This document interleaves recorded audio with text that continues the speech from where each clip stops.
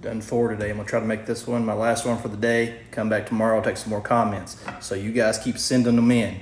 And more than likely I'm gonna have stuff to make them. But she says screwball and grape juice shot tastes like peanut butter and jelly.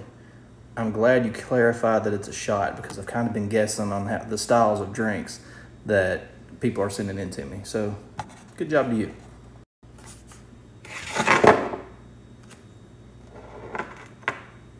It's a shot. Now, I don't have the traditional grape juice that you may be thinking, but I do have some sparkling grape juice, and it smells like grape juice. Should work. Now, you told me what kind of drink it was, but you didn't tell me shot, so I'm going to assume half and half. So we're just going to go right here with the grape juice. Maybe a little over half, but at the same time, I'm not trying to get toasted. This is my fourth video for the day, so maybe a little less alcohol would be better. And we have our screwball.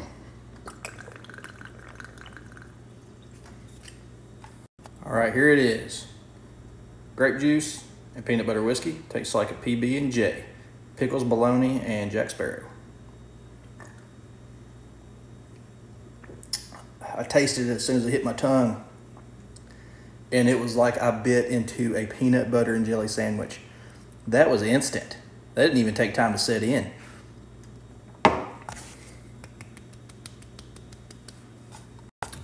Thank you for the comment. Good job on this drink suggestion. I actually liked it, and I'm not a huge fan of peanut butter and jelly, but that's pretty good. I like that. Anyone who likes peanut butter and jelly sandwiches would love this drink guys, get in my comments and suggest some drinks for me. I will do my best to make them as fast as I see them, and I'll include them on my videos.